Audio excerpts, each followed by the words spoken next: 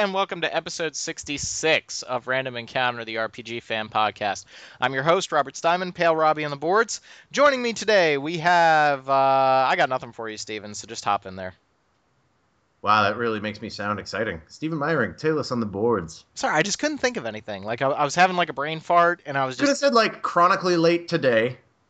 That would have been a good one, because you were. Extremely... Yeah, you were extremely late today. Steven is my favorite Steven, if that helps. Thank you. That's Derek. Hi, this is You're my favorite Derek, and I know a couple Dereks. Yeah, I know a couple Stevens. Also, I'm Embryon on the boards, even though I don't post on those a lot. I'm still going to tell you that every episode. Hello. There we go. So, first off, uh, I just have to say a huge, huge, huge thank you to the RPG fan family, as well as what's his name, Steven? Uh, I apologize if I mispronounce it, but uh, Jean-Marc uh, Giffen, Giffon, Giffon. Giffon. Giffon. Jean-Marc. right. He, he goes by Jean of Marc on emails, so I prefer that because that sounds cool, Okay, so and I can pronounce that. so I want to thank maybe. everybody because uh, after I got married and uh, I was going through all my my wedding gifts and everything, which was you know a lot of silverware, a lot of Fiesta ware, uh, unmentionables, not a whole lot, you know that I'm For you or for. Wait, wait, Jack? unmentionables. What? Do guys get unmentionables? Of course, guys don't. Did get you get the black lace thought- that I sent you, or Jesus. I thought unmentionables were the word for like your your your your jank. No. Oh my God! Wow. Are you referring to like underwear? Yes. yes? Oh, okay. Wow. And did we not send him the one, or did we mix it up and accidentally Good send him Lord! the 3DS? Hey, all right. That's enough. Wait, did, did you get the 3DS? Oh, yes. damn I, it! Yes, I got the 3DS, and I want We to thank. sent him the wrong package. Must uh, explain this fabulous set of lingerie I just received. so th- I wanted to thank everybody for uh, contributing to giving to getting me a 3DS XL. Uh, I have been having an absolute blast on it and neglecting my wife quite a bit. Uh, but that's okay because I'm playing a lot of Virtue's Last Reward, and that makes everything okay. I wouldn't say that's okay, but all right. She's like trying to Let's- hit me right now. let's let's use the term that's acceptable for Rob at this point in time. And Okay, she's she's that's taking away my 3DS now. Okay. As Any, she should. Well, Anyhow. now it's her 3DS, I guess. You are married, so I guess right, she has all that. Right, all right, all right. So we will talk about that here in a few minutes, but once again, I just wanted to thank everybody. That was a very heartwarming gift. So. You are welcome. You You, are deserve welcome. it, even though you're a jerk face. How am I a jerk face? You're you're not. I know. well, your, pic- your picture on Sky- uh, Skype is Diablo, so I mean that, that That's is true. kind of jerk face. I'm a nice guy. I'm a nice tight. guy. Okay, so I figured why don't we start by talking about something that we all well, okay, maybe Derek didn't think it was going to be bad, but something that Steven and I were actively mocking for the past three years, and ah ha ha, look at Square Enix, they can't do anything right with Final Fantasy XIV. And then we started playing the beta, and Steven and I kind of went, you know, I I like this. I told you so. yeah, uh, that's. I, I wrote on the message boards at RPG Fan, like, I think in January. I said, there's nothing Square Enix can do to get me interested in this game. I think it's going to tank. I think even if it's good, it's going to tank. Yada, yada, yada, yada. And I spent most of the weekend playing it. Yeah, Like- you really did. Like I kept like- looking on Steam, and it was like Steven is still playing A Realm Reborn, Final Like- Fantasy XIV. me. we left. We, my friend and Derek and Mike, we were playing.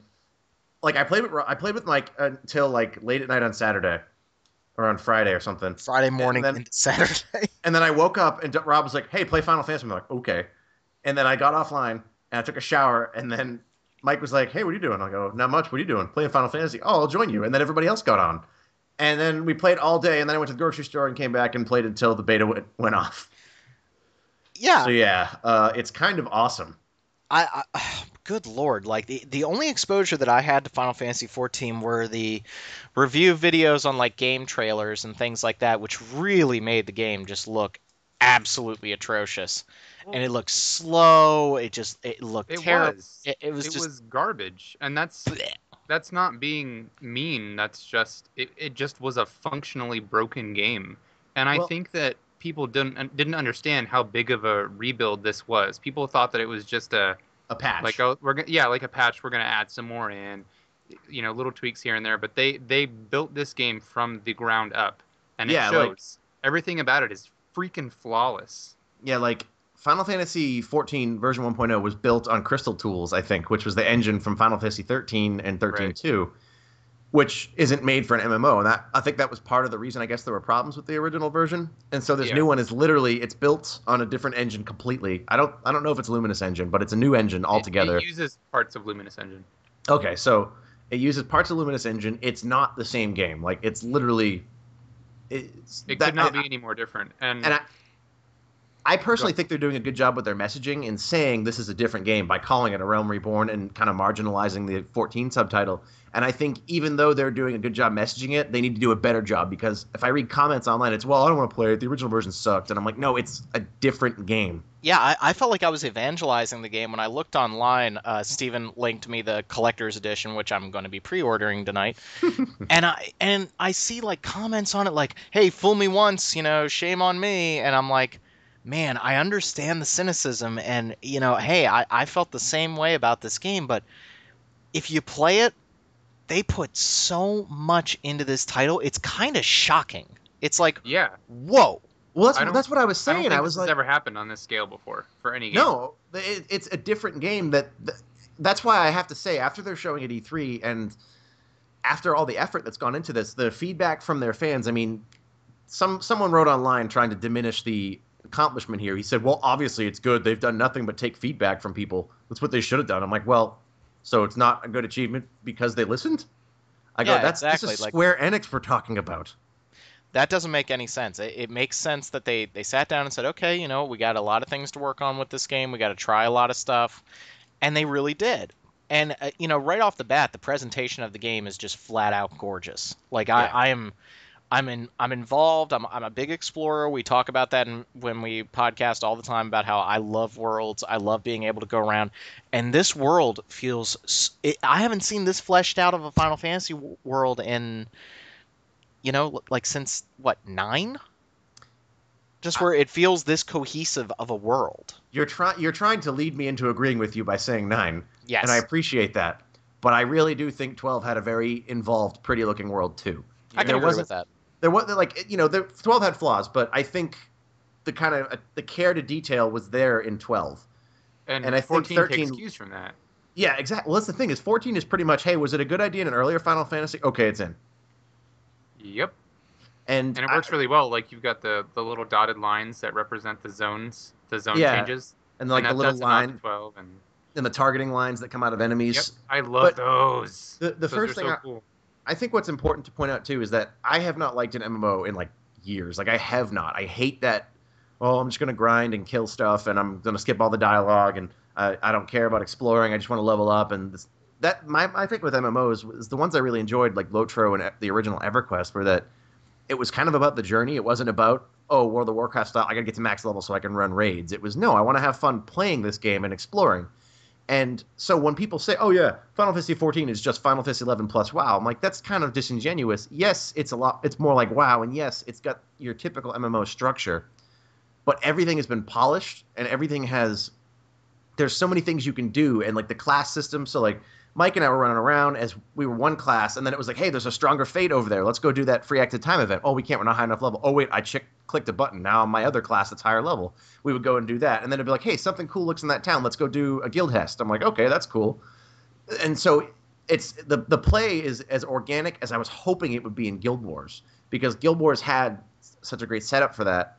But it turned out to not really be that organic because it was just all right. Jump into the map. All right, where are all the things I have to go and do so I get completion in this area so that way I can go on to the next one. And again, Final Fantasy 14, you get abilities from quests.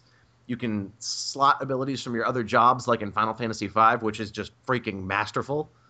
And you have all these different jobs at your command at once.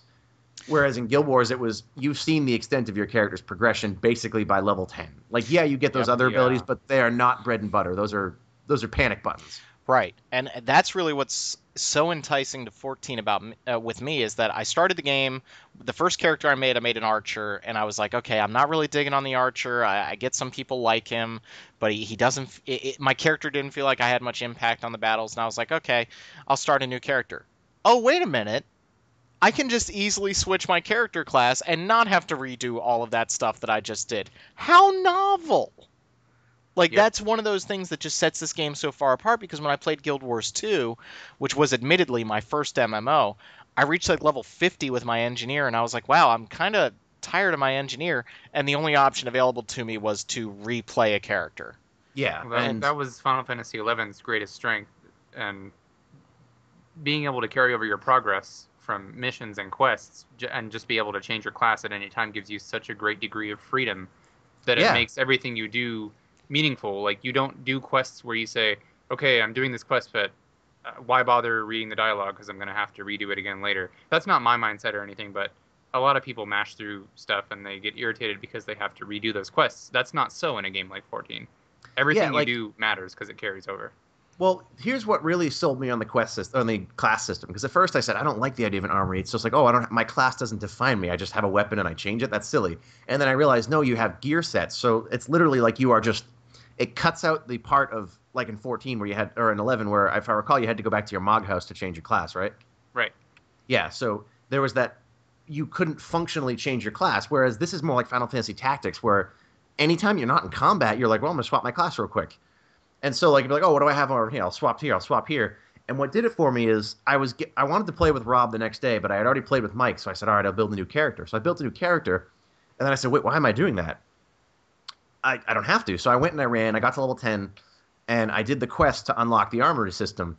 And then I was like, holy crap, I could just go unlock other classes, and all my progress carries over. So I went and just unlocked a couple other classes because I was there.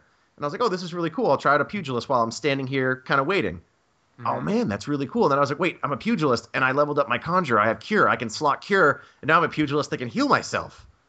I'm like, Yeah, what? and that the the ease of that system comes across in the gear sets because Final Fantasy XIV originally had that idea where it was like, okay, you can be whatever class you want to be, but it was incredibly held back by the fact that switching your gear was so cumbersome. Mhm. So in Realm Reborn, they made this awesome feature where you can literally save gear sets, and it's as easy as like two clicks. You click your gear sets, and you click this the gear set you want to equip, and you are instantly another class ready to You do something else. and you don't even have to do that. You can actually click and drag your gear sets to the hotbar. So literally, I had my four classes that I was using on the hotbar, and I was just and you can like, just switch between them. And the Yeah. the limitation there is that you can't do it in combat, but I think that's great because it it gives everybody a defined role. Because I think it would be really chaotic if everybody was switching between all of their classes in the middle of a fight. Bunch And- of paradigm shifts in the middle Yeah. of a Final Fantasy and then 14 actually, fight.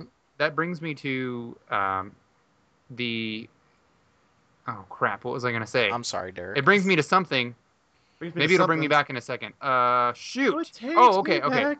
I remembered. Uh, so in Final Fantasy XI, one of the big problems was that once you hit endgame, the only ways that you could conti- continue to develop your character were to get new equipment and to do merits, which eventually you ran out of merits to put into your character, so you had to just go for equipment. And Final Fantasy XI really focused on side grades, like, oh, here's a here's a piece that enhances my cure potency by four percent, so I have to macro this in. I have to create a macro to use this every time I cast cure. I want this piece equipped, and I hated it because part of it was it was annoying to have to collect all of those different items and have all of them on hand at any given time. And also because when you macro them in, in in Final Fantasy XI, your character blinked out of existence briefly and then blinked back in with the new equipment on, Mm. which is how most MMOs do. But I felt like that really broke immersion and it irritated me because in high level play, you just see people macroing and it's like they're blinking, blinking, blinking all the time. And it just seems so weird and unnatural. so in, four, in 14, you can't change your equipment during battle. So part of that is the aesthetic is, is cool for aesthetics because you don't have to see people blinking in and out of existence. But the other part of that that I think is more significant is that you can focus on you you need to plan your gear before you get into combat. And once Yeah. you're in combat, you're locked into that gear set. And I actually like that because You can't change your equipment while you're fighting in real life. Right, it, Not that it you just fight in real life that it often. It just feels like it's but- it's less irritating to me and I like the idea of having to to like the your gear planning being included in your strategy for any given fight.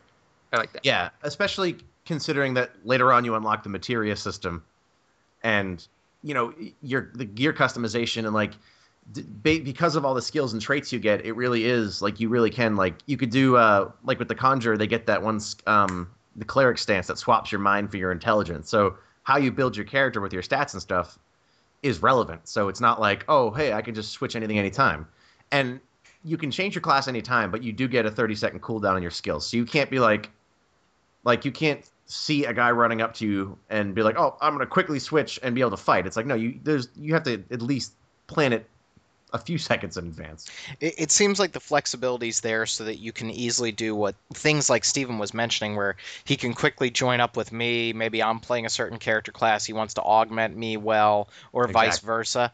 And that that friendliness is something that I find so incredible Awesome. about this game because with Final Fantasy XI, one of the reasons I didn't play it is because a lot of people said like this is an old school MMO. Like it's Mhm. very in depth, it's very, you know, not friendly in a lot of ways. It's very grindy. And at some point you need to party up with people because if you're just a white mage, then guess what? You ain't exactly going to be slaughtering squirrels for experience. So Right. it, with 14 it, it does it feels more like WoW, but it still has that Final Fantasy feeling and I think that that's so important where like I don't give a crap about the WoW world. I don't give a crap about Warcraft, but I like Final Fantasy. And I like this old school Final Fantasy vibe that this game has going on. I love airships. I love the black mages with their, you know, hats. Awesome pointy hat. Yeah, I love that stuff, and that feels so prevalent here that that DNA is there to make it feel different from other MMOs. Even though I think this game is doing a lot of things that other MMOs have done, like the the fates, these quests that arise that anyone can join up and and battle with. We've seen those in other MMOs, but here they feel very very good. They feel like they're a cohesive part of the world, and That's I a- really a- like that. That's a really great way to put it. Is that lots of MMOs have this stuff, but everything feels like it fits in together here. Like, I I- everything because of how your character progression is set up. It's I never ever once felt like I was wasting my time. It was like, oh, my friend Brian's over there. Gonna run over there. Oh, he's level two. Let me switch down to my level three class. Or oh, hey, Rob's my, Mike is over there. He's level ten. I'll switch back up. And it's like, oh, well, we'll do a fate. Well, all right. And then Mike's like, well, I really want to level my my my gladiator because I want to be a paladin. And I'm like, oh, okay. So we would like take quests on and then get into fights, and I'd be a little bit higher level. So he'd switch to his lower level. I'd support him, and he could level up his lower level class. And then when we went to turn in the quest, he'd switch back to the original class that he was when he took it and turn it in. So it's And- it's like the game encourages you to just do whatever you want.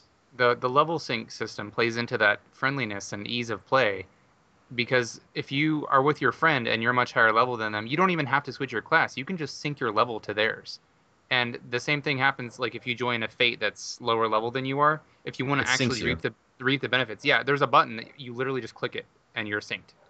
It's that easy to do anything with anyone.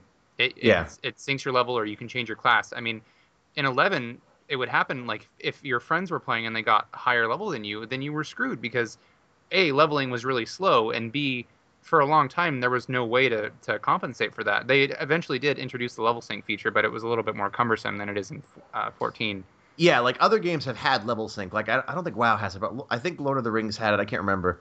They've had it, but it, it wasn't to the benefit of the person syncing down. It was like you weren't getting anything out of it because you weren't getting good experience. It was just yeah, you can party up with your friend, but you're not going to get anything out of it. Whereas in ele- in 14, it just it felt like everything I did was building my character, and I I just love that. That's that's what I loved about tactics and Final Fantasy V. I don't love Final Fantasy V overall, but it just everything I do feels like it's building my character up. Yeah, Yep. I, I love it. I'm And the world again. the world yes Ugh. i think that's the the greatest asset final fantasy 14 has is it has an incredibly interesting world with really vibrant unique designs and freaking phenomenal music Oh god, the music is just as soon as the first like battle music started up, I was like, wow, this is the best battle music I've heard out of Final Fantasy in oh, I don't all know, time. 15 years. There's Like- and not only are there a lot of battle themes, uh, the main battle theme in each of the three areas surrounding the main cities is the same song but played with different instruments to reflect the Ah. local. I noticed that. That was That is so, so cool. Oh Le- my uh, god. The the town I haven't been to. I, I've I played the phase two of the beta with Derek a little bit. Well, for like ten seconds, but uh, I played that one and I was in Gridania, the foresty area, and then I was in Ul'dah this time, which I'm pretty sure is going to be my jam because Ul'dah is awesome. It's like Rabanastre. It's like this really vibrant looking deserty place, and I haven't been to Linsa Lominsa, Lim- whatever. I can't believe one. you can pronounce all this stuff. Then we'll get to that in a second because I can't pronounce a But- damn thing in this game. it when I, I was watching the, the like the world tour video and I heard the song in the one town I haven't been and I was like I think I have to be in that town. They have the best music. yeah, the music is unbelievable. Somebody asked me on Twitter, um, you know, is, if the music's good, maybe I'll look into it. And I was like, look, I seriously, I'm not hyperbolizing here. This is the best music I've heard from Final Fantasy in I don't know how long. Like every song I hear, like I'm all- it, like I ran places just to hear the music. Yep. Uh, Uh, when I was playing with Steven and Mike, we we went through specific areas just so that we could hang out and listen to the music. It's so good. Yeah. well, We are very excited about Final Fantasy 14. I, and I never thought we would be. Uh, uh, the other thing that really surprised me, and it, it's going to sound like a complaint, but it's not really, is that the world building is so intricate that when I when I went up to get some quests, you get like this wall of text, and they explain like, "Hey, this is why I need your help. This is what needs to be done," and the text is so intricate that it's almost difficult to read because it's not like a quick hey dude go kill five squirrels for me. It's like oh my god you know my wife with with the things and the oh she's been bugging me about this that, and the and then i gotta i gotta go and i gotta do this. And there's a real lushness to the world that i wasn't expecting. So at first i was like whoa. I, i'm like i'm playing with a controller on the pc which i gotta say the pc controls are pretty good with a controller it, it works okay i think there's some stuff that they can work on here and there but overall it's really good but i found myself like leaning into the computer screen like i actually want to read that but it was so like surprising to me whereas with guild wars i was like where am i okay what do i need to do all right You're let's like, do all right, this." bad guys, got it. got it bandits they be, they be dead bandits now Well, and that's another thing that it, it does. Other games have put effort into their writing. I don't want to put slights on that. Like Lord of the Rings Online, they did put some effort into their writing, but because of how they've set up these little storylines within each area, I just I don't know. Like again, I'm sure somebody could point out another MMO that has done this, but I haven't played one that's done that and made me care. Like there's an area called the Silver Bazaar where there's this whole little plot arc where you're helping this kind of struggling market get back on its feet and get out from underneath these people that are trying to basically demolish it. So every quest I did, I was like, oh, this is cool. I understand how this ties into the storyline. So like, you really do see your character as a hero because in the main plot line, I, I think as it as it shakes out, you're one of the warriors of light because when the version 1.0 ended, a, like a moon hit the planet and Bahamut came out and just dropped everything, and some super wizard teleported everybody away or like into like somewhere. I don't know how exactly the, the specifics of it work, yeah, but he teleported you. He, the chosen people or the warriors of light or whatever. He teleported them to the future. Which Yeah, is all the they- great- It's five years later. Yeah. Yeah, yeah, and so you're those characters again arriving in the world, and so you're the people who have who can save the world. So it really makes you feel like a hero as opposed to I'm a dude who just picked up five tomatoes for you. Yeah, I like that. and the fact that the it's not implemented yet, but when the game launches, the main storyline is going to be fully voiced. It's it's got actual production values. I mean, the entire game has really great production values, but I don't know that a lot of MMOs would put that much effort into presenting a story. But it's Final Fantasy, and they want to make it feel like a Final Fantasy. They want you to be engaged in this storyline while you're playing, and not just feel like you're doing quest after quest after quest after quest, which is so cool. I love it. Yeah. I love it. I will be pre-ordering it, and I never thought I would hear myself say that. So hey, Neither did the I- I didn't either. Yeah. hey, Square But Enix, glad. good on you guys. Like, No, seriously, you know how I was selling this game to people? Even people who, ju- my, my friend Brian, he listens to the podcast, and I said to him, I go, he goes, well, how's New 14? I'm like, Rob likes it. And he's like, really? I'm like, yeah. And he was like, wait, really? And I'm like, yeah, Rob likes it. It's I Final believe- Fantasy. Steven told John that Rob likes it, and John's response via text message was just no. No. but now I, I will say that I am I'm worried about the game. Apparently they've hit about a million beta subscribers, which is really good. It's going to have a subscription model. I'm not trying to be a Debbie Downer, but I do agree with the statement that Steven made at the start of the discussion, which is I think Square Enix they've done a good job of establishing that this is a new game. This isn't Final Fantasy 14 with a new coat of paint. This is an entirely new game, but they need to do more because I will I agree. pissed. I will be pissed if people just go, "Oh, well, 14 sucked, and I'm not going to give this one a fair shot." They need to get the word out that, hey guys, I, I wouldn't have even called it 14. Honestly, I, I wouldn't have called it 14. I would have Well, I gotten thi- as far away from I that think as the possible. I don't think, think the they wanna have- that it is 14 though. Like it's still people who bought 14 still own this game. Yeah, Right. it is. And I, I don't think they want to have a numbered Final Fantasy title in the, in the, the history of the series that's just a known piece of crap. well, I They- mean, they, they, don't have, want to have that on them. No, I mean they have eight. What are you talking about? Hmm. people people we go. like eight. People don't universally revile eight though. I, I No. think- I think think- everybody has their tastes with Final Fantasy games, but but Final Fantasy 14 was legitimately broken in several ways. It was technically fundamentally unsound. So that's Yeah. different than not liking the story or whatever. So- and it's two- I think what's really going to help with your concern too, Rob, is that um, first of all, the betas seem to.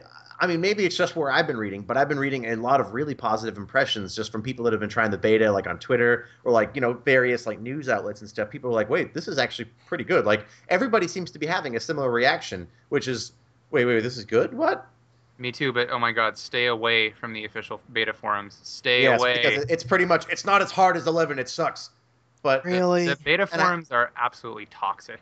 They're You know what though? It, Ah. it, you know what though? The best way to put it: every community and every type of game has its elite people who are exclusionary and want things to be as esoteric as possible. Like, there's the hardcore fighting game community. Not to not to disparage it, but there are people in that community that don't want other people involved in it, and Yeah. they want that because it, because I understand partially where they're coming from. Final Fantasy XI was so difficult, but it was such a unique take on the formula that the people who did spend time with it, it is a really important memory to them and they had really great times and they feel like by this changing it's not going to be it's not going to live up to their nostalgia which i think is not going to work anyway but i also think that the game going open beta in july is another good thing for it because people will play it and be like wait, wait, what Oh, I can't wait for it. Like I, I'm pissed. You know, I, I I know why they're doing it, but the only being able to play it on the weekends really bummed me out. And now, but now I've reached a point where it's like I don't want to play it anymore. I'm like, you know what? I'm playing it when it comes out. So I'm just I don't even think I'm going to play it until for sure we're not going to get our characters wiped, which I think is the plan for Phase Four. Correct? yes which is uh, rumor has it that since people have been saying you'll be able to turn in your closed beta codes until like July 17th. People are expecting the open beta to be like end of July, early August. And that has been, barring a huge catastrophe, they've said that your data will transfer to the full game there. So what will happen is phase four will happen. That's going to have everything implemented, if I recall uh, player housing or the housing system, the PvP system. Uh, all the uh, the the duty finder next weekend it comes up and like the cross world thing and the level sync will be up and then phase four will go offline a few weeks before release. People with early access will get access, and then it will launch. And all of your data from phase four will carry over. We're still missing some character classes, right? Like we're missing the scholar and the arcanist. Yeah, the the Arcanist is a base class that can turn into either the Summoner job or the Scholar job. Oh, really? I Yeah. thought the Ar- oh, I thought Arcanist was a another like specialized job. No, it's a base. It's a base class. Oh, okay, cool. And I, I'm interested to see like what does the summoner play like? What does the, Yeah, the- scholar play like? Like I, we, the we don't know. The Summoner is like a. I'm not really sure. It's some kind of offensive mage that channels like mini spirit versions of the primals, which are the main like Ifrit, Ifrit, Shiva, Garuda, and then the Scholar Doom Train. is a is a party. Yes. Yeah, I wish Doom Train. Yeah, Oh my god. Train. Speaking of which, there are train tracks in in Thanalan, and if you can ride on a train, I'm gonna selfie freak out. But anyway, Yeah. the I know, Sch- I agree. Scholar summons Scholar summons fairies to buff and support. It that's it didn't say much, but it's on the the official website. I don't know. All I know is, is I can play my Siren from Borderlands. I can do damage and I can heal. And that's all I want to do. I'm gonna be a summoner. I'm probably gonna be a paladin. I think Okay. There- there's no one. like sneaky rogue class, so I don't really have something Yeah, there. They'll Not there's yet. a there's a musketeers guild, but there's no musketeer class yet, and it's all but confirmed that they're gonna add it in like a couple patches down the line. Which so means must- you can be Mustadio. I, you could be Mustadio. I'm gonna be a musketeer. It's could- it's like it's a gun class. Okay, I, I was sitting here going M I C K E Y M O U S E. That's a musketeer, Rob. And Oh, we actually made a D-O-R. reference to Z E A. we, we made a reference to the so Mickey good. Mouse Club in our last podcast when we recorded did. Rhythm Encounter. Oh God. We sure So- did. overall, uh, 14. I am super high on it. You know, I'm a little, I, I'm a little wary because I don't know how. Do you have to? Do you have to end? Can you can you No, no, just no, say no, no, I'm no. really excited about this Well, game? would you stop? It wouldn't be me if I wasn't. I don't know if this game is going to hold my attention that long, but I am going to pick it up. I'm going to play it with you guys, and I'm excited to play it. I'm glad Yeah. to hear that. I just don't know if like eh, the only games that I really played religiously for a long period of time were primarily shooters like SOCOM, uh, Left 4 Dead, and Modern Warfare. Those were the only games that like I played for a whole year, like couple hours every other night. I don't know if I'm going to do it with this, but I know that if any game is going to make me do it, it's going to be this one. Yeah, that's you know I agree. That's that's how I feel because again I still I'm I'm I'm jaded MMO guy, but I feel like if I'm gonna like because I mean I the only games I've put that many hours into recently are Borderlands and Left 4 Dead. So Yeah. I, I I suspect this is kind of what I've been wanting to play, and with all you guys playing, I don't really think that's going to be.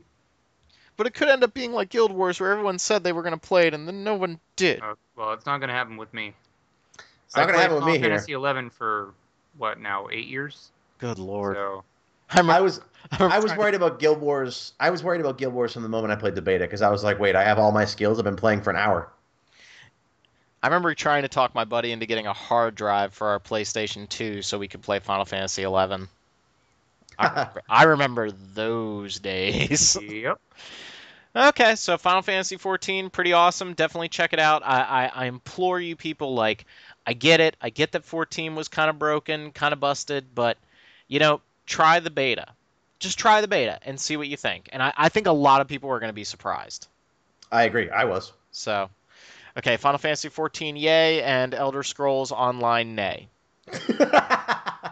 We, we are setting the internet straight here. we I I don't know what anybody sees in that. I I'm not the right person to ask about it though because I'm not an Elder Scrolls fan anyway. you know what But I it just Not a looks like the most the most generic genericness that ever generic and generic down. I don't give a damn. that's that that no you know what that's honestly my issue is that I never felt attached to those worlds. I'm like yes I, I've said this a million times. There's lore in that world, yes, but a lot of lore doesn't mean it's good lore. And lore or not, the game. I mean, I suppose somebody in the other side of the camp could say, "Well, Final Fantasy 14 is just basically WoW with a Final Fantasy world." And I'm like, "Yeah, I guess you could say that."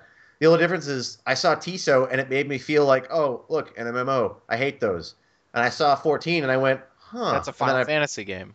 yeah so maybe maybe there's an audience for it i know people have given it awards and said it looks great but none of us here have really been all that keen on it it's pretty much an mmo Well, All I know is that playing 14 made me feel like I was playing Xenoblade, and that's maybe the best compliment I can give it. Where I was just like, I'm gonna go find stuff to do. that's Like, what i was doing for quite a while literally what I was. I was like, I'm gonna walk in that direction for a while. and you cool. can Now, if only we could get that guitar solo into that game. Anywho, sorry. All right, so my 3DS has been getting quite the workout lately, and Brain age I know I'm gonna get brain age for Jackie. I promised her. But here's the deal: if I had played Virtue's Last Reward last year, that would have probably been my game of the year. that's that's what i said i i played it in like I got it for christmas and i played it in january so i couldn't give it an award but i finished it and i was like damn i go three months sooner and this would have been my game of the year Good lord! Like, you want to talk about wacky, crazy, intense, tension-filled. Golly, I'm just so happy playing this game. Even when I get really mad at it, I love it. I just love it. So, Virtue's Last Reward is the sequel to 999, uh, Zero Escape, Nine Hours, Nine Persons, Nine Doors. I think that was the title. I just call it 999. Uh, and this is the sequel released on Vita and 3DS. And it, it is a total sequel. There are parallels, there are things going on. Don't worry, we're not going to spoil anything. And it's a visual novel with puzzle solving elements. And this game just freaking rocks. It is just. I, I we talked about it before, and so I don't want to spend too much time on it. But golly, if you have not picked up Virtue's Last Reward, and you are even remotely interested in a visual novel or puzzle games or just awesome narrative that can only be done in a video game, please play this game. Just please. It's so good. Wait. Yes, it i is. agree with those things I don't know what I don't know what we can really say about it that we a haven't already said and b wouldn't be a spoiler, but it's it's one of the most interesting narratives I've ever experienced in a video game, and it's the kind of narrative that can only be presented through a game. Exactly. And Yeah. that that to me is what makes it special. And you know, I, I I did say that the game has pissed me off a little bit. I think a couple of puzzles have been a little hit and miss. Some of their explanations maybe could be a, a little better, but with the amount of translation that went into this game. This game is huge. Like 999 I I conquered that whole game, every ending in what? Like maybe 12, 13 hours. I'm at like hour 15 on this game. I still have like two thirds to go. And you can't even. No, you have two thirds to go, and then more paths are going to open up. Literally, I, I finished that game with like 43 hours, and I was like, wow, that was very long. Yeah, and it doesn't get old. Like the way the game just delivers story and it keeps the intrigue going. And yeah, it's completely insane. Like th- this game, this game has reached a level where they throw a plot twist at me and they're like, "Yeah, I'll buy that. I can, I can believe that because this game's nuts." And I just love it. It it's just so ah mm-mm-mm. save glitch and everything on 3DS, which I did run into, but thankfully it didn't corrupt my data. Told you that.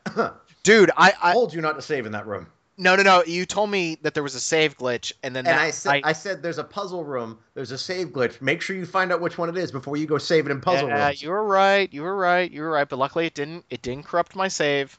But this game, ah, ah, mm, mm, mm. I like good games. Now, if we can only get Dragon Quest Seven on 3DS, Wait, what? Which one? The the They- uh, Dragon Uh, Quest Seven got released on 3DS last year, and they haven't said anything about it being in America. And I really, really want it. Like this. This is why I have a portable system. Thank you again, everyone. This is why I have a portable system because I like the kinds of games that are on portable systems, and it, it's really fun to like sit on the couch and play, and be able to close it and come back to it. And I really like that. And Final Fan- and uh, Final Fantasy Seven, Dragon Quest Seven is a game that I always wanted to play, and we don't know if we're getting it in America. So I'm kind of like, please. I would be utterly shocked if we didn't get it. They've released every other port here, and they like money. yes, they do. And, we And- just and hey, they just confirmed my little thinking that we were going to get Dragon Quest 10 on PC. Where's the Rob was right T-shirt? I'm looking around for it. I, I don't because you all were like, no, they're never going to release it on PC. Were we? Yeah. Did we? Oh. really? Oh yeah. Well, you're right then. Although they haven't said if they're going to release it here. Well, now if it's on PC, I think you got a much better shot of it being released in America. I can see that. Much I, better. well, you know what though? Square Enix has even been saying lately, they're like, "Oh, we're building Final Fantasy 15 on a PC and then downspecking it for the consoles, and we're willing to consider for any platform that uses DirectX, which I believe there's three of those. It's called consoles. Well, I don't know, and P- they're basically saying, yeah, we're considering doing it on PC. I would be very not surprised to see almost all of their big budget games coming to PC in the next couple of years. I wouldn't be surprised if Kingdom Hearts uh, 15 uh, Dragon Quest already is. I wouldn't be surprised to see all of them coming to PC. I And agree. I think that's lovely. I agree. And uh, to get back to the 3DS real quick, I'm really happy that they that the Nintendo eShop is much uh, it's much more uh, developed than I thought it was. Where it's much easier to go online and buy games. And I really like that, so I'm not going to be sitting here. If I decide to play Fire Emblem a year from now, I'm not going to go, wow, I really need to track down a copy. Hey, I can just buy it off the eShop. That said, I, I hate to do this, but and I know why they don't have like Super Metroid on the 3DS because they would have to redesign it with the dual screens in mind. But come on, just Well, I, I don't think it's on. that. I don't think it's that. I think it's they're trying to create some sort of specific features for each one. Like they the su- you can't get Virtual Console Super Nintendo games on 3DS. It's handheld games that you can get. why? It's, it's Why? and I, I- I don't agree with it. I understand why they're doing it because if they said, "Oh, we use got Earthbound on Virtual Console, but also 3DS," well, everybody who has a 3DS or most people buy already it. do. Yeah. So they're not going to go buy a Wii U for it then. So I see what they're doing, but I wish they wouldn't do that. What I wish they would do is what Sony does, where if there's a game that's available on both platforms, generally speaking, if you buy it on one, you get it on the other with Vita and PS3. There are exceptions, but you know, there's a lot more I mean, it, parity between them. it sounds like I'm crying over nothing. Like, hey, Steinman, you can buy like all these games on the 3DS. What's what are you complaining about? But it's just like Steven's saying, like, I want to play Earthbound, and I have a 3DS. I don't want a Wii U, and I, you're not going to entice me to buying. Maybe that's just me, but you're not going to entice me to buying a Wii U with old Super Nintendo games. Whereas, I Although you might- are with X and Sonic Lost World, but we've already discussed that. but I might be more enticed to buy like a 3DS, which has a lot of games that I'm interested on, especially if I can get things like Earthbound on it. So I, I don't know. That to me is just one of those like, it's a weird thing, but I agree with Steven. I get why they're doing it. It just really. I, I, I understand their thinking. I just don't like it. Did you guys see the message board postings about people getting stuck on the first red door in Super Metroid? Why can't uh, Metroid crawl? What? That's the thing people said. I think I think that was a troll account. Because Oh, later that's on, right. that that same Oh. guy. Do you know about this? The guy that was posting draw or pictures on Miiverse. Oh yeah, I remember I saying saw stuff It like said, "Why can't Metroid crawl?" and later later on, he find he finds the Metroids. Then he says, "Hey guys, I found Samus." Oh, so so I think it had to be a joke, but it But was the, pretty but the people getting stuck on the first like five missile red door that just made me happy. Like kids, you don't know how good you have it today. Back in the day, we just we just had to burn every bush with a red candle and just pray to God we found a set of stairs. yep. you guys don't know how lucky you got it. So, uh, love my 3DS. So, Derek, tell me a little bit about Project X Zone. Uh, Cross Zone. Project Cross Zone. I'm sorry. Is that really? Is that how we're supposed Yeah. to refer to everything that It has an. X in it? It, well, this. I so guess. Mega Man Cross. Oh. Well, there is that Mega Man crossover phone game that's supposedly, but X over. but anyway, butt. X it is. I guess it's supposed three, to be five, Project over Cross two. Zone. but uh, Project Cross Zone's a pretty cool game. I, it's the kind of game that I didn't expect to ever come out here because it's so full of fan service and characters that I thought they would never be able to get the licensing needed to bring it out here. I guess they did have to cut out a few of the songs that were from games like the Yuri and Estelle from Tales of Vesperia are in the game, and they had to cut out Ring a Bell. Oh, was- really? that- yeah, Oh, because it was only little- licensed. yeah, so and there was a couple other uh, instances like that, but basically it's if you've played Super Robot Taisen uh, OG Saga Endless Frontier, which I guess not a lot of people probably have, but it's got a similar combat system in that basically you just have okay, so this is it's like a strategy RPG, but when you engage an enemy, you go into a little skirmish and you execute attacks. You'll have up to 5 available eventually and they're just really ridiculously flashy attacks that juggle enemies in the air and do all kinds of crazy stuff. Uh, they all throw back to the original games that these characters are from. Uh, I guess that maybe I should have backed up a little bit by saying that this is like a the story is not meant to make sense. This is a crossover game where all the characters are here from different worlds. You've got Mega Man, you've got Tales of Vesperia, God Eater, uh, everything. Uh, No Sonic. fighting game characters. Yeah, they've got like Virtua Fighter, Tekken, Street Fighter. Why, No why would they have Sonic? Well, they actually they do have Sega. You're right. They have Ulala from Space Channel Five. They have Valkyria Chronicles. So this game is meant to just be fun fan service, I think. And the it has a plot, but the plot is basically like all these worlds are blurring together, and we have to fight the bad guys. So Is the plot literally? Yeah, so I was gonna say the evil universe blurring bad guy is there. We have to stop him and then return to our that- worlds. that's all it is. And and characters say lines that are somewhat relevant to their worlds, or but but like every character will have one line in a pre-battle conversation. Like every character will pop up and say one thing, and they'll be like, "We have to fight them." And Frank West from Dead Rising will show up and be like, "Yes, and I have to take a picture of them." I covered wars. Right. So, but anyway, so the skirmishes are just like basically you're stringing together combos and trying to juggle enemies. It's really flashy. It's really fun. It's cool so long as you keep getting new characters. But I think I, I'm still at the point. I'm not at the point yet where I've stopped getting new characters, but I can see it getting annoying because skirmishes are really, really big. Like you'll have over 30 enemies on the map at any given time. And when you fight them, you go into a little individual fight, and it takes a little bit. It's not awful, but it, it's just starting to get tedious because I'm doing the same attacks over and over. But but anyway, it's the sprite work and is out of this world pretty. It's got such cool animations for all the attacks. I don't really know. It's it's the kind of game that I feel like if you buy it, you already know what you're getting, and you'll probably really like it. I, I like it a lot, but I, I don't think I'm gonna be enjoying it once we get close to the end, just because I'll be like, all right, I've seen all the characters, I've seen all their quotes, I've seen all their attacks, and now I'm just ready to be done. So and you don't Derek- have Mega Man yet, so I do not have Mega Man yet. I just got Yuri and Estelle, so and I'm So- on like chapter 15 or 14. So Derek, if you had to choose between this and Fire Emblem, which would you pick? Um, I think Fire Emblem has more depth, and Fire Emblem is probably the better game. But I don't know. I, Steven and I seem to be the only people in the universe that are not. We don't. Well, I don't know about Steven. I don't hate Fire Emblem Awakening. I just wasn't as sweet on it as everybody else seems to be. But I would say Fire Emblem between the two, sure. I was just looking for controversy. Steven, tell us how why you hate Fire Emblem. I've said why I hate Fire Emblem, and I don't hate Fire Emblem. I just recognize. All right, let me rephrase that. I hate Fire Emblem, but I don't say it is a bad game.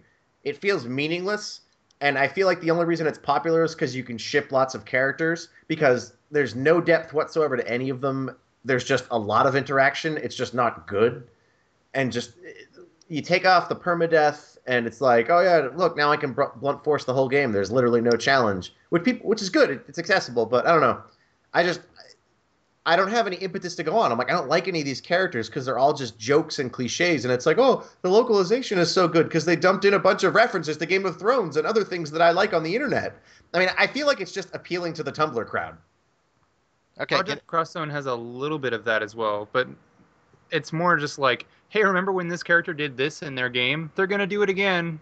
get, is, is Dante in the game? And Dizzy goes, Yeah. I'll, fill, I'll fill your heart with light. Uh, no, he, but he does talk about eating pizza, and when he fights, he says "Shoudambra." Is it young Dante or is it uh, not young Dante? It's normal. That's normal Uh, age Dante. nipples Dante or not nipples Dante? Not nipples Dante. Not what nipple- a shame. Nipples McDante. lady. McDante? Uh, Nipples Dante is lady? up from from Demitri or with Demitri from Darkstalkers, which is kind of an, an interesting combo. I want to get Isn't Dimitri Laharl a in devil, there. though? Uh, Laharl's not in it. Oh, poop. Who else is in there? It's a I- it's a fun game. It's uh, give me Mega just some Man Zero. crazy people that are in there. Mega uh Man and Zero. yeah, Mega Man and Zero, Hsien-Ko from Darkstalkers, and Frank West are a combo. Uh, I already went through a bunch of them. Um, God Eater, Akira and Pai from Virtua Fighter. Uh, I thought you meant like actual Akira was in the game. I was like, really? No, uh, Morrigan and Does Chun- he Morrigan from Darkstalkers and Chun Li. Shoot, I don't know, It- tons. There's there's like a there's a listing of them you can get online. Some of the craziest ones that I didn't expect were like Ulala from Space Channel Five. Like I said, like what is she doing in there? Does that mean Michael Jackson's in there too? Space Michael, I wish. Space, Space- Michael. I- Is Yeah. he wearing boxing gloves like ready to rumble? Are you guys wish- talking about Mi- Michael Jackson's Moonwalker, the old Genesis game? No, 'Cause that No. game was awesome. No, Michael Jackson was actually in He was in Space, Space Channel Channel 5. 5. yeah, he I was played Space, Space Michael. Channel 5. He's That in you it. didn't play it right. I guess not. I don't Uh, remember that there's at all. no way you could have missed him. There's no Sonic, so it's all all this discussion of who's from Steven, Sega is, is stop. irrelevant. How are you, Yeah. that, I, I, Steven? I respect you so much as a gamer, and you're a complete Sonic fanboy, and that aggravates me. Like I'm so like, ah, God. I'm not a Sonic fanboy. I admit Yes, which of you his games are. bad, but I also know that some of them are good. like one good Sonic game happens every five years. No, two happened in a row. They were called Colors and Generations, and the two portable ones, which are totally different games, which were good. And the next one that's coming out is even better. Lost World does look cool. I just I cannot disassociate Sonic anymore from furries, and that makes me sad. I think that's why I didn't like uh, one game. See, nice little segue here. I think that's why I don't like one game as much as Steven does. Um, and I, I don't want to talk too much about it, but I played a little bit of Dust, and I like it. And it's, it's funny. I've actually brought that up to Steven before, and I, it's not that I, I don't want to play it. I do want to play it. I'll buy it when it goes on sale on Steam.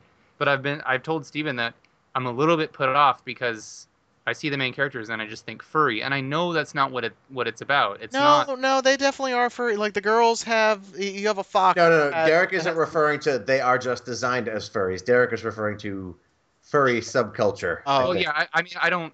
I, I- I don't know, but I don't think that the characters were designed to be like furry fetish designs.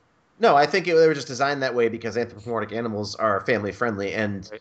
Just based on what I've seen from the developer, it's stri- he strikes me as the type that's going to make family friendly games that are friendly to everybody. Like, don't think of it as creepy furry stuff. Think of it as oh, this is a Saturday morning cartoon about animals. Like, yeah, no, that that's fine. But then like the really obnoxious Navi type character just needs to shut the hell up. Kyle didn't like her either. I thought she was amusing.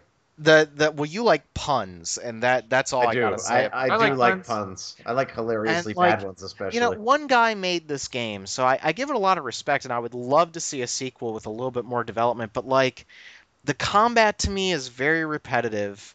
the The world and the just the exploration element of the game really isn't there. I, I was telling Steven earlier today, I think the camera is way too zoomed in to the point where like I can't even see where the edges of the screen are. So I end up just kind of jumping around like a nitwit, like trying to find. It's very much in that Metroidvania style, and the game's combat is much more interesting than a Metroidvania where all you do is just swing your sword. it kind of puts Dawn of Sorrow to shame, which I played a couple months back. But it, it's got some really, really good ideas, but I'm not as in love with it as I think some people are. I think I. I'm a little bit more down on it, but I really respect what this one guy So- was able to do. I, I don't you think trying to segue into Muramasa, by the way? No, I was trying to segue into Dust and then into Muramasa. Oh, okay. Well, Thanks, Dust, Derek. I, I enjoyed Dust. I thought it it didn't overstay its welcome because I did think at the end it was getting a little repetitive. But again, for the price of the game and how nice it looks, I enjoyed it fully. And I think, you know, if you like an action RPG, it's worth playing. Um, you know, the again, it's made by one guy, I don't like to make that an excuse, but it's impressive on that front, and that it's enjoyable. I think is still good. It, it is repetitive, but I think that's simply because you don't have a whole team of people coming up with scenarios and different situations. It's you know there are a few different wrinkles, but you know working within constraints is what you get, and I think it's still a good game. I don't think it's a fantastic game, but I think it's a good game. Yeah, I mean, I, I, I definitely don't want to disparage on an indie developer. Somebody puts their heart and soul into a game, and again, I'd like to see a sequel. It's just that it it doesn't strike me as like you know, Mark of the Ninja to me is like, holy crap, this is a stealth game that can go up with the best of them. It just happens to be a 2D indie developed stealth game. And is it indie? I thought it was made by like a big studio, wasn't it? Or no, no? it's made by the same guys that made Shank. Oh, so I like Shank. Shank was cool. Yeah, so it's a smaller and Don't Starve. Uh, they're a smaller development studio, uh, but then like Dust, it's not. I respect it, but it's not quite there. But I think it could get there, and so I, I want to see another one. And I agree with Steven. Like, check it out. You know, you can get it for pretty cheap on Steam. It's not that big of an investment. We just got done talking about how like I like spending twenty dollars on a game, even if I only play it a couple times, because you know you go to the movies with a date. That's twenty bucks right there. If the, if you're lucky. Yeah, if you're lucky. Uh, so you know it, it's good, but I, I'm not enamored with it. But it's it's all right. It's all right. I, I can dig that. Tell me about Muramasa, because you seem to hate that game as well, Steven. I don't hate Muramasa. You hate everything. When did you become me? Oh God, Yeah. I don't hate. I don't hate everything. I just know. I know what I like. How, how do you feel about the storyline in Heavy Rain? I like it except for that one part. okay, I'm just I'm just testing you.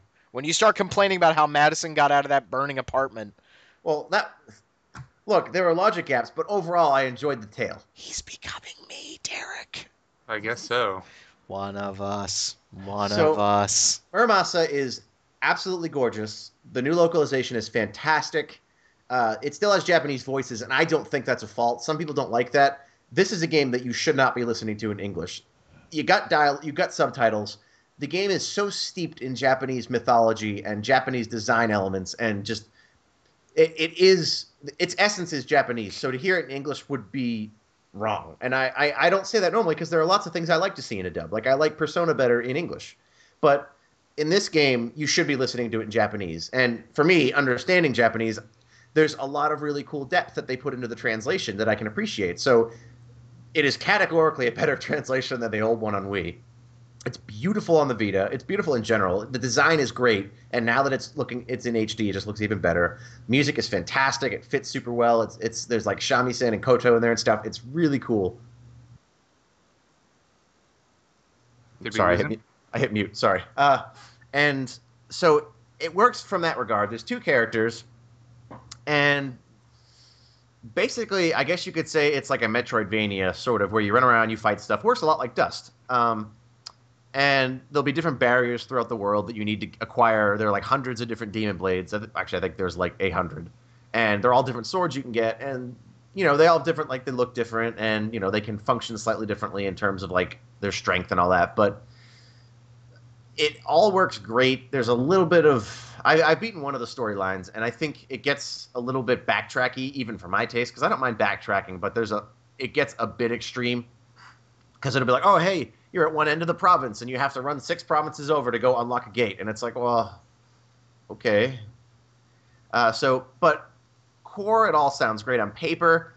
So why don't I love it? I don't know. It's eh, no, I seem to be the only person having this problem, but I think the controls are abysmal. They added a jump button, which is great, but everything feels really deliberate, and I don't maybe I just, it's just because I recently played Dust, and that is very, very like you hit the button and he swings his weapon super fast. You know, I, I don't know if that's it or what it is, but there's such a delay before you do anything. It's like, oh, I jump and you kind of float up slowly, and enemies whack you, and it's like, oh, hey, you got to block that that shuriken coming at you, but you can't once it's already coming at you because your guy's gonna slowly pull his sword out of his sheath and then attack. It just, I don't feel I don't feel in control. I feel like there's just this delay before everything that's infuriating. And John was like, play it on a normal difficulty. I actually switched to normal almost immediately because I was sitting there like, ugh. So You it a- played a game on normal? dude i just i hate the controls i really do i think i think maybe it was an intentional choice on their part to make it deliberate because when you start moving around and flowing it looks great but it always feels like there's a delay before anything like i'll be like i want to dash over there and then i'll be like all right i have a second before that's going to be reflected on the screen so let's see what pretty things are happening on my character now and you know, some I was told by some other people, oh well, some of the swords are slower. I'm like, well, yeah, I know the difference between a long sword and a sword, but the regular swords are faster, but almost categorically weaker. And I don't know, it just it it feels like feels like there's this wall of fog between me and the perception of the game. So I'm like, all right, hit a button, and there's my action. I hit a button. Oh, look, I jumped. It's not like button jump and that that it bothers me for some reason. I don't know. Maybe it's just because I was expecting something more like Dust.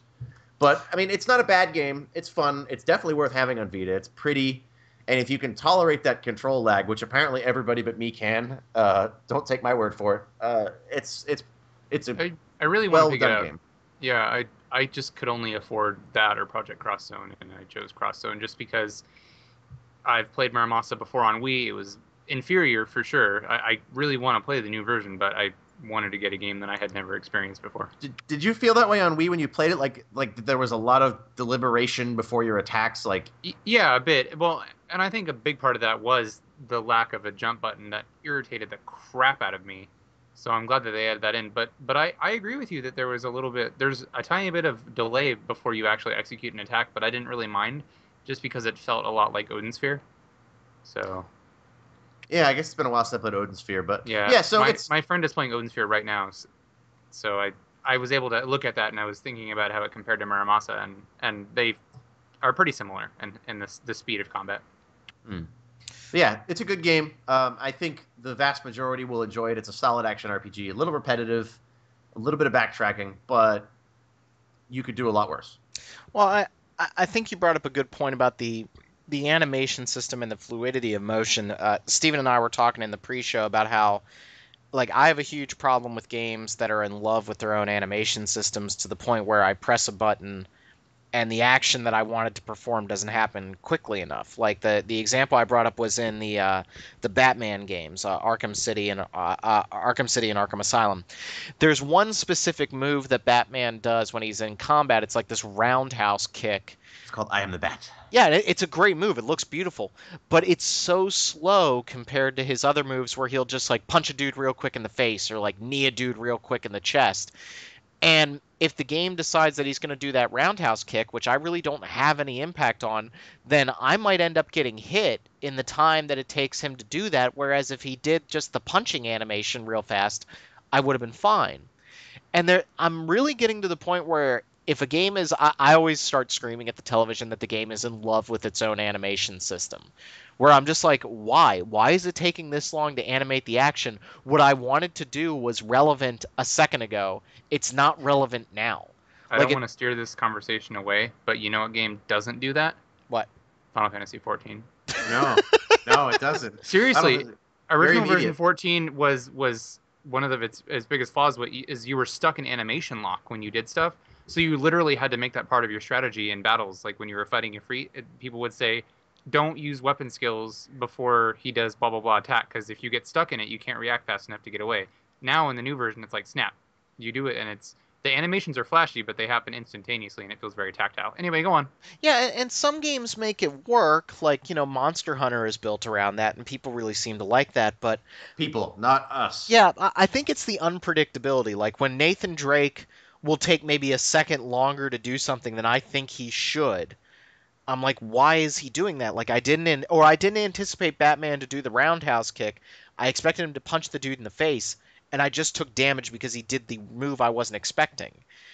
And so that's that's kind of like uh, it's the reason I love the God of War combat system so much because Kratos can break out of almost any combat animation into a block, whereas like in the new Devil May Cry, if you try to do the axe swing, the big giant hammer axe swing, if you start that attack, you can't stop it.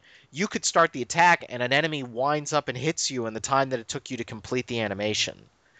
And that, you know, eh, some games really pull it off, and I'm sure some, I'm sure someone is going to point out one of my favorite games ever and how that's definitely a part of that game.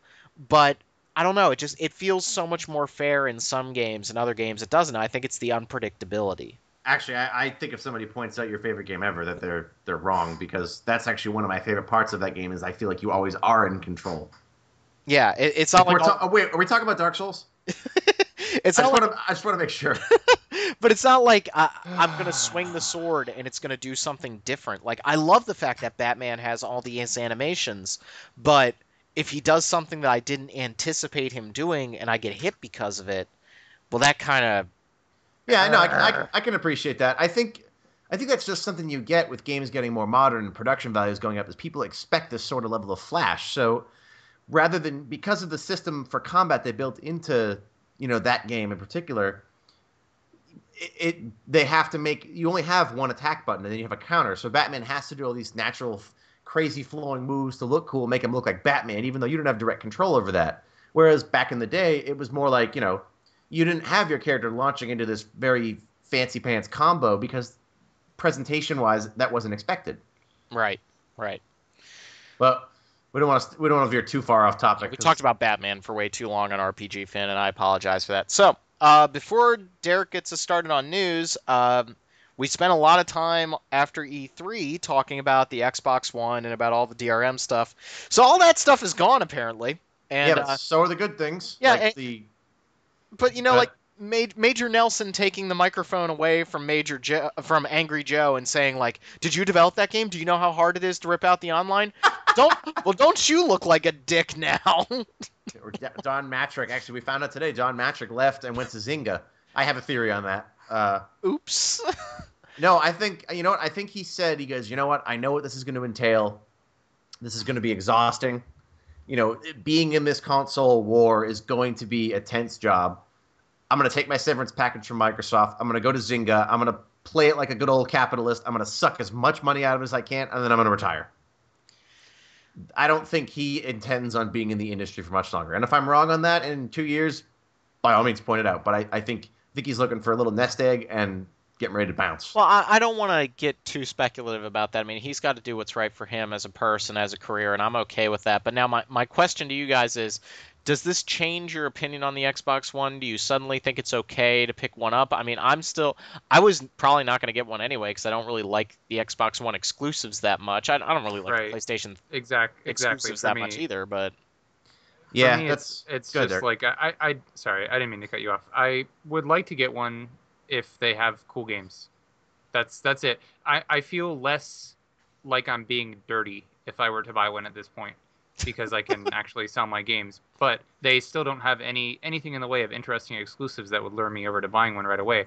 Sure, I'll get one in the future if they make cool games, but for now it's You didn't like PS4. Rise? that's kind of how I feel. no. I'm sorry. I that I, I feel bad beating up on that game so much. It looks stupid, and everyone's like, "It looks incredible." I go, "No, it looks like God of War, but with even less control in your hands." Hey, hey, hey. I say even less. Okay. Uh, you know, I I think this is good that Microsoft went back. I think that the the Xbox 180. I think they literally did it the day we released the podcast. I'm like, dang it. But I, I'm glad that they did it. I'm still not that interested in the Xbox One exclusives, like Derek said. But more to the point, they or Mike or, or Sony, for that matter, they can go back on this in a heartbeat. And that's the thing that scares me is that they could, you know, you could get a new terms of service agreement that you click agree, and guess what? All this stuff is back. And you know, you know what does it for me really though is, I feel like that that DRM stuff, that tells me what team they're playing for. They're playing for their publishing partners, and I understand it's a business. That's how it's going to work, but that doesn't mean I have to pay for it. So they've shown where their first priority is. They've they came out and said, you know, the des- the UI designer said we're designing it with advertising in mind. The you know, the, the all the guys from Rare have left and have all but said it's not Rare, it's just Microsoft controls Rare's IP, and they're exclusive. Every ex- I look at the previous Xbox, like the original Xbox, Xbox 360, and I think about the games I played on it, and I don't foresee there being anything on this that I need to play. Yeah. I don't see a whole lot on PlayStation 4 that I'm super interested in outside of like Infamous Second Son looks pretty cool. But you know, I've kind of I've kind of Sony Sony's exclusives have always appealed to me more, and maybe it's because I've had more Sony consoles, but I've owned all the Microsoft consoles. I love Phantom Dust, I love Lost Odyssey, but I can think back and just name so many Sony exclusives that I really like, and I I really do appreciate like their worldwide studio or whatever. They make games that I like, like creative, cool sounding games that I enjoy, and I appreciate their platform. So I want a PS4 because I can say, you know what, I don't use my PS3 as much now. I use my PC primarily for gaming, but if a game like The Last of Us comes out, I want a PS4 to play that. I want to be able to play Naughty Dog's new game. I want to be able to play Infamous Second Son because I love the first two. You know, a lot of their exclusives are some of my favorite things that I've played on the platform. Yeah, no, I, I can see that. It's just right now, I, you know, I probably won't get a PlayStation 4 for like a year end of its life cycle, but that's okay. But I, you know, I, I think this was a good decision by Microsoft. I'm Absolutely. guessing, I'm guessing they had a lot of data to prove that they needed to do this. I'm guessing that the pre-order numbers were not where they needed to be. Yeah, I don't think this had anything to do with them listening to the fans. I think it was flat out they saw some numbers that said that the dollars weren't going to be coming in. Yeah, they. that- I think the fan response and the actual dollars coming in synced up this time. I don't agree with. Uh, we had a debate with it on the forums, and I don't think personally that this was any sort of consumer victory. This was, hey, we looked at our our, our testing numbers and we're not making enough, so we got to drop this, and we're going to say it's for the fans.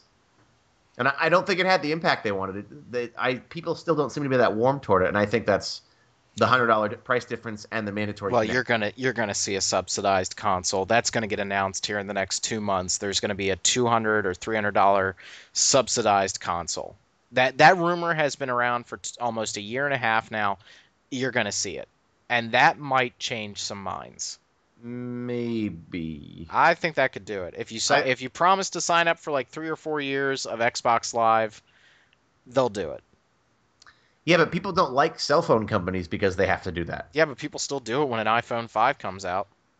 Because they have no choice. They don't have another option if they want an iPhone. Only this time, the headphone jack is on the bottom. Anybody else see that commercial? The only one? Okay. Uh, Anywho, anywho, Derek, I didn't mean to take away from your news section, so begin, sir. Not at all. Well, we learned some new stuff about Final Fantasy 15 recently with the game being announced at E3. Uh, Square Enix sent out a press package that has uh, a piece of key art that shows off five of the main characters as well as their names and a little bit about their backgrounds.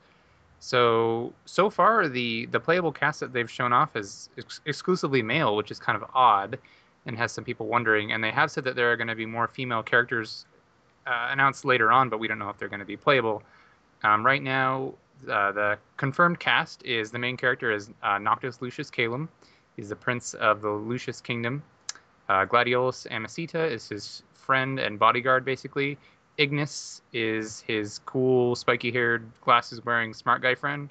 Prompto is the guy with the freckles that's uh, kind of an outcast, and Cor Leonis is an older military hero that uh, goes he goes along with Noctis's crew, but he's not exactly thrilled with what they're doing. So cool, And, we uh, have character names and And Donald Duck is uh, Mickey's advisor, and he Dolan. Hel- hello, Dolan.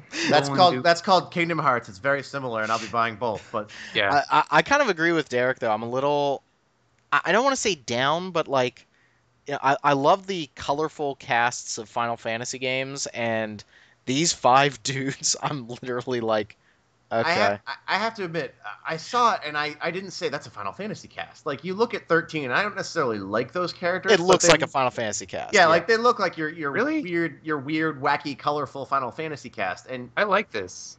I Well, think I- they look like Final Fantasy characters, but they're they're more subdued and well, that, the, that's the what I- variances come in that's- their like the little details in their costume rather than being ridiculously flashy. well, I did. I, I think that's what throws me off is that from a design standpoint, they look more this is a fantasy based on reality. You know, a reality where you can jump off walls, but it's still, you know, it. I understand the aesthetic they're going, and I think they fit in that world. It's just strange because this kind of visual fidelity, you know, 13 looks great, and it has that distinct kind of anime-y Final Fantasy look, and whereas this looks a lot more normal. Like they have fabulous haircuts, but that's that's And par for the course. Don't forget about the zippers. People, not that many. There Yeah. are some zippers, but well, I, I didn't want to put words into Derek's mouth. What I uh, because Derek made the comment that there weren't a lot of there wasn't a female cast member yet, a female player character or whatever formal cast member, I guess is what we'll say. And so I wasn't saying I wasn't trying to put words in your mouth, Derek, and say that I didn't like the art style and that meant that you didn't like the art style. It's just that this didn't strike me as a Final Fantasy cast, and maybe that's a maybe that's a good thing. You know, I, I'm not trying to be down on that, but I look at these five. I, I don't want to say bros, but these five dudes, for lack of a better word, and I'm not interested in any of them. And? But now, but now maybe that's like a once I You- see them in action, once I see them in You know what though? interacting, that'll make it better. I felt that way too, Rob. But when I read the the actual description of their characterizations, it struck me as so different from what Square normally does. Because what do they normally say? They go, "Oh, look at this guy. He's got a son. He's Sazh, and look at him. We we put him in here because he's our token black guy. He's And got look, a chocobo in his hair. Look at Yeah, him. and I don't know something. They they describe the relationship of the characters as opposed to some superficial trait, and I really like that. I was Oh, like, this- wait, that's That's true. Like they didn't say like this they is said. Oh, this this, girl this that guy. you picked up. Yeah, like he said, oh, this is you know he's a but he's not his childhood friend, and that strikes me as like Luke and Guy from Tales of the Abyss. This guy is kind of their older advisor who you know he's cool with them. So that strikes me as that this is going to be a group that has some chemistry. So that that's a good starting point because that's the Persona 4 crew. They have chemistry. That's you know, true. That's true. And so you really appreciate those characters in terms of their relationships to one another and themselves. So it's early to say if they're going to get that right, but I I like seeing that this isn't oh look at all this flashy ridiculousness. It's just yeah they have your very in vogue Japanese haircuts and these are their relationships and I'm like okay I'm, cool. I'm not even gonna be cynical or cautious about it. I just I want the crap out of this game. Yeah, I think mean- it looks fantastic, yeah there's no question involved. I'm buying the game. It looks like something that I want to play. I, I and I I'm- think it's I think it's valid that you guys have concerns. By the way, I'm not trying to dismiss Yeah. anything that you're saying. It's just for me, I'm I'm stoked. I, I love the designs. I think it all looks fantastic. I think I'm- Square has almost gotten me back on board completely. And admittedly, that may have been because of Kingdom Hearts, but I, I maintain that it's because they put on a good show. They showed off games that we wanted to see. They did a great job with the 14. And, you know, I, I feel like, you know, this is a good start. I guess what I want to wait for is even though they've said time and time again that Final Fantasy 15 isn't as linear as 13, I want to see what they mean. Like I, I want to see a non-linear Final Fantasy game, and and I, I hear the arguments all the time. People are like, "Well, in Final Fantasy 6, you only had one town you could go to for each story beat." Yeah, but you know what? It still let you do a lot of side quests and a lot of stuff that I really liked. So I want to see that. And so if I see that in a little bit more reveal stuff for 15, then I'll be totally in. I, I expect to see that because Kingdom Hearts has that a lot, and this looks a lot like Kingdom Hearts. And it's the, the director. Uh, I I don't know if he's the director, but Hajime Tabata, the guy who worked on Type Zero, is in there, and Type Zero was very well regarded. And they said, you know, there's a world map, so I'm getting the impression that we're going to get an action RPG, kind of in the vein of like a Seiken Densetsu sort of thing, where like you know, you have, you know, there's a linear story path. You can't go everywhere all at once. But as the game goes on, it will open up. I think you'll see a more traditional Final Fantasy style progression in this. Then I like it. Are we going to see multiplayer? I don't I know. threw- but I threw a don't bomb. Really want it. I don't threw want a bomb. Are we going to see multiplayer? I, you know, it seems structured in a way that would make that work actually, but and I'd be down with that. I, I would try it if it existed, but I don't think it needs it. Yeah. I don't. I don't think it needs it, but a Tales game also doesn't need it. But it makes a Tales game fantastic. Okay. So No, I'd be on board with it. I, Or I'm when you when you I'm- say multiplayer, I'm a, I thought you meant like versus. Is that what you meant, or did you mean cooperative? No, I Oh, meant no, I like, meant co-op. hey, I'm controlling Noctis. Oh well, hey, I'm controlling. Oh, Yeah. Okay, Gladiola well, Espanzadanda. I don't know why I immediately thought you meant like death matches. Oh no no no no. I No, no, no, no. I mean like the, the co-op. the menu designs look and the way that it's showing all the characters interacting. I, that just something just clicked in my head where I'm like, maybe. You know what though? They did say Kingdom. They, they said we're looking at multiplayer for Kingdom Hearts and connectivity. So I'm like, I would not write anything off at this point, and that's what's exciting to me.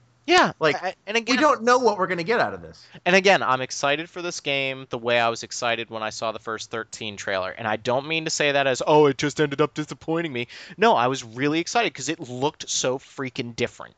It did. And if this is what we're, hey, you know, let, I can't wait for Tokyo Game Show. You know, this game will probably come out in 2016, and I, you know, we'll see. I hope it makes it out next year. I really do. I think it'll come out. I, I'm gonna say summer. I'm gonna say summer next year. I would fully expect to see this out next year.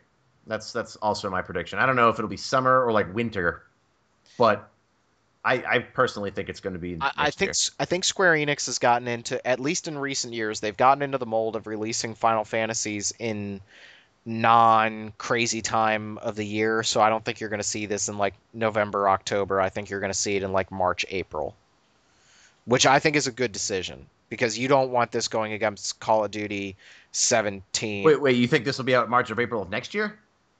Uh, no, I would say maybe like June, maybe. Say, I, I definitely don't think it'll be that because Lightning Returns comes out in March. yeah, I could. Oh, I could see really? tail end. of- Wow, of wow, next no, year. wow. February for Lightning Returns, by the way. Oh Oh, wow. okay. Yeah, Yeah. I don't see them not releasing two Final Fantasies that close to each Uh, other. maybe it is going to be 2015. I don't know. I don't think it'll be 20 next year, just the the tail end of next year, Well, yeah, like late summer or winter. like October maybe, September. Anyway, more news. Yep. Because Yeah, we we, can speculate got kind of hung all up on that one. yeah, this is uh this is relevant to my interests. The Legend of Heroes art books are coming uh, to North America, courtesy of Udon Entertainment. They release I a like lot of Udon. really neat art books. Yeah, like for they've done Street Fighter, Darkstalkers, uh, Atelier, lots of cool stuff. It's interesting that they would choose to localize these, uh, much like they localized the Valkyria Chronicles 3 art book because that game never came out here. But these these are it's two books. Uh, one is the characters and one is the illustrations. Those are the, t- the subtitles and they have art from all of the Legend of Heroes or Sora no Kiseki games, including all the ones that aren't out here. So it's gonna sting, but I'm gonna buy those. Um, we haven't heard any news from XSEED or anybody about a possible release for the rest of that series, but I haven't given up on them forever. Uh, I still think that there's some hope that they could get over here, but anyway, those art books are coming out, and that's cool, especially if you're a crazy fan like me. So, also, Zeboyd Games has announced their next game. They are the creators of Cthulhu Saves the World, Breath of Death, and most recently, Penny Arcade's On the Rain Slick Precipice of Darkness. So, their new game is going to be called Cosmic Star Heroine, and it is inspired by Phantasy Star 4 and Suikoden, which is awesome. Uh, it's got it's got like a sci-fi kind of theme, like sci-fi anime, and it is going to be a game that has humor, but it is not a parody like the old Zeboyd games. So I don't know. They're they're developing it on a new engine, so there's promise there. Um, I was getting a little bit tired of the Penny Arcade games, but there it is. I, so all, all I can say is that when you go and you list every game that everybody ever loved as your inspiration, I ask, well, what about them that they're turn-based RPGs? Uh, so I color me. I will leave it at I am skeptical, and yeah, I also think that I'll there might be a little capitalizing on nostalgia. Probably the they showed off the art of the main character, and she very much looks like sort of an Alice uh, look-alike from Phantasy Star Four. She's she's got white hair, and I'm not saying that that's bad. It's it's a cool design, and I like it. But we we'll see. There's there's no concrete information yet, so there's no way for us to tell if it's going to be good or not. But they just wanted to announce it, and it is coming out sometime next year, I think. Cool. So, or maybe end of this year. I'm not sure. Uh, speaking of new games, Gust, the Atelier developer, has announced a new game that is not an Atelier game. It's called Chronos Materia, and it's for the Chrono? PlayStation Vita. I know, right? They they really picked two words that get my attention. Right. It it looks. I don't know. There's not all they've really released are a couple of environments and two character designs and like an end of battle screen, but it's a it's another JRPG. Um, the characters are designed by the Vocaloid artist. So if you're familiar with Hatsune Miku, and those characters. It's the same artist that did that. The game does have an item synthesis system, which is a Gust trademark, and we have no idea if it's coming out in North America, but it's coming to Japan on September 26th. I would be surprised if we don't get that. And they seem to make pretty good JRPGs, so I think that could be something to look forward to. Yeah, I'll check it out for sure. I like Atelier, so. And my final piece of news for today, it's a Japanese heavy news day, I guess. But uh, Drakengard 3, or Drag-on Dragoon 3, as it's known in Japan, and I think Europe calls it that too, doesn't it? I'm not Uh, sure. Anyway, Drakengard 3 is coming out in Japan in September. I'm sorry, not September, October 31st on Halloween, which is fitting because the game is gory and creepy. But they uh, they released a trailer for it, which is cool, and they also announced that it's getting a special edition that's 202 US dollars, Holy 19,800 yen. Yeah, What? and it's got a book about Drakengard with a poster, 24 track CD, History of Drakengard Blu ray, a novel prelude, an art book, a DLC code, and the game itself. And I believe I heard that they're doing some voting to decide what kind of DLC costumes are going to be in the game, and they're going for legacy stuff. So you can vote for costumes from Drakengard 1 or 2 or Nier to be included in that. The game itself looks really cool. Uh, that trailer that they released today is really stylish, and the CG in it's pretty awesome looking. So hopefully we get this one. We got the last two. I would like it if we got a costume that was a face mask and it was just ugly Daddy Nier's face. Oh, I thought you were gonna say Weiss. Well, that would be cool too, I guess. you Weiss, you dumbass! Oh, I just think that uh, I- I haven't beaten Nier, and I keep meaning to because it seems like the kind of thing that I would love. But man, is Daddy Nier ugly! Like the sure non is. the non Japanese version, his Yeah, face is like is. ah. I'm really excited to see more of Drakengard 3 because, God, I really wanted to love Drakengard 1. I got really excited for it, and then I played it. Well, the game wasn't exactly fun to play. It wasn't very polished, but the the lore and the story is really fascinating. It's just it's crazy.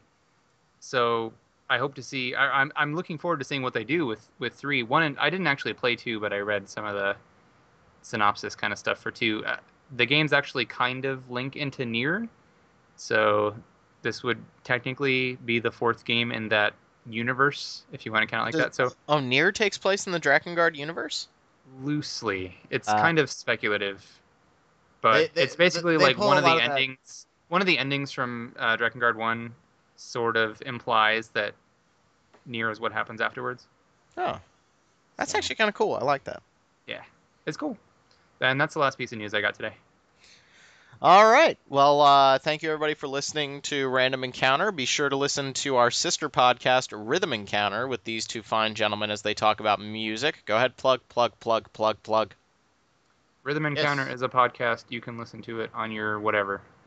On any device you want, Very good. it has music.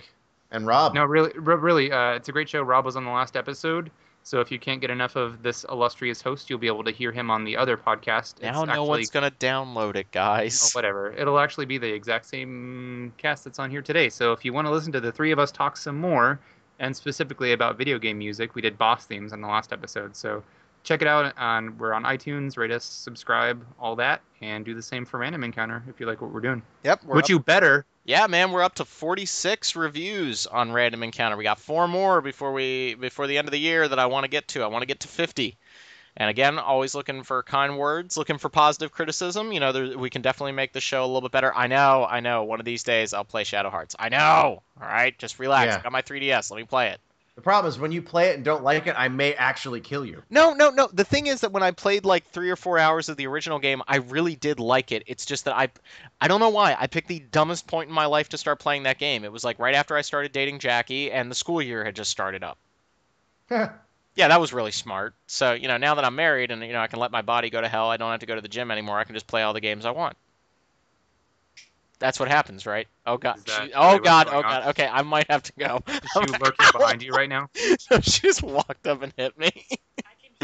yes, yes, sweet. Ah, the Okay. beauty of marriage. Yes, the beauty of marriage, ladies and gentlemen. So thanks again for listening to Random Encounter. Be sure to subscribe to us on iTunes or through the RSS feed. Give us positive reviews, and we'll Or see. he dies. And we'll or, see. he, or he dies. That's, that's Or- that makes it sound infinitely more dire. And we'll see you all later. See ya. Put down the knife.